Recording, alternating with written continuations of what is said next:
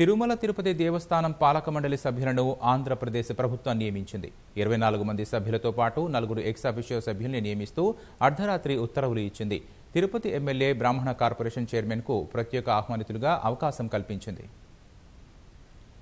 Chairman సహా ఇరవై ఐదు మందితో తిరుమల తిరుపతి దేవస్థానం బోర్డు ఉండేలా ప్రభుత్వం నిర్ణయం తీసుకుంది. చైర్మన్గా వైవి సుబ్బారెడ్డిని ఇదివరకే నియమించగా మిగిలిన ఇరవై నాలుగు మంది సభ్యుల జాబితాను ప్రకటించింది. ఈ మేరకు అర్ధరాత్రి ప్రభుత్వం ఉత్తర్వులు జారీ చేసింది. అలాగే దేవాదాయ శాఖ ముఖ్య కార్యదర్శి దేవాదాయ శాఖ కమిషనర్ తుడా చైర్మన్ తితిదే ఈవోలను ఎక్సాఫిషియో సభ్యులుగా ఉంటారని ఉత్తర్వుల్లో పేర్కొంది. Tirupati MLA Bhumana Karunakar Reddy Brahmana corporation chairman సుధాకర్ను ప్రత్యేక ఆహ్వానితులుగా నియమిస్తూ మరో జీవో ఇచ్చింది. వీరిద్దరికీ బోర్డులో ఓటింగ్ హక్కు లేనప్పటికీ మిగిలిన సభ్యుల్లాగే ప్రోటోకాల్ ఉంటుందని స్పష్టం చేసింది.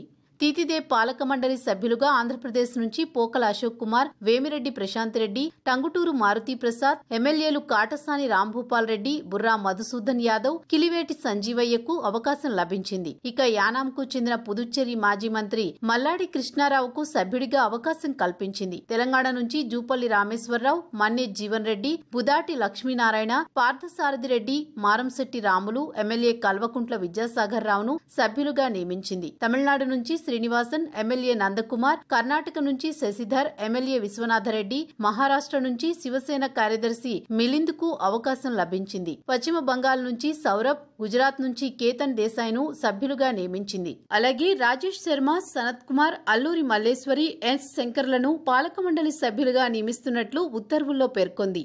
గతంలో ఎన్నడూ లేనట్లు యాభై మందిని ప్రత్యేక ఆహ్వానితులుగా ప్రభుత్వం నియమించింది. తితిదే ధర్మకర్తల మండలిలో ప్రత్యేక ఆహ్వానితుల నియామకం అనేది సీఎం ప్రభుత్వ నిర్ణయమని తితిదే చైర్మన్ వైవి సుబ్బారెడ్డి చెప్పారు. ప్రత్యేక ఆహ్వానితులకు బోర్డు సభ్యులతో సమానంగా దర్శన అవకాశం ఉంటుందని బోర్డు సమావేశాలతో సంబంధం ఉండదని స్పష్టం చేశారు.